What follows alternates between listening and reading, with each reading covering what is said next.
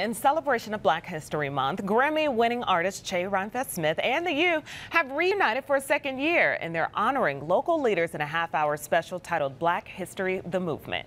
Yeah, the special highlights different ethnicities within the black community, such as Haitians and Ghanaians, and more. Che sat down with poet, educator, and founder of Third World Press Foundation, Dr. Haki Madhubuti, and asked how he created a village from the ground up. Dr. Madhubuti said it all started when he was a young boy, forced to read a certain book. All of this started with I understanding who I am. I remember when I was 14, my mother asked me to go to the Detroit Public Library and check out Black Boy by Richard Wright. I refused to go because I hated myself.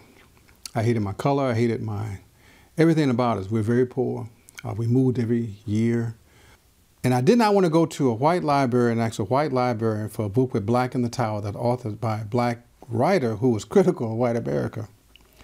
But I went and I found the book on the shelf, put it to my chest and walked to the people section of the library and sat down and began to read. And for the first time in my life, at 14 years old, I was reading literature that was not an insult to my own personhood. And almost every page, Richard Wright, and it was it's autobiographical. It was slapping me in the face. Slap, wake up, Negro! Wake up, Negro! Wake up, Negro!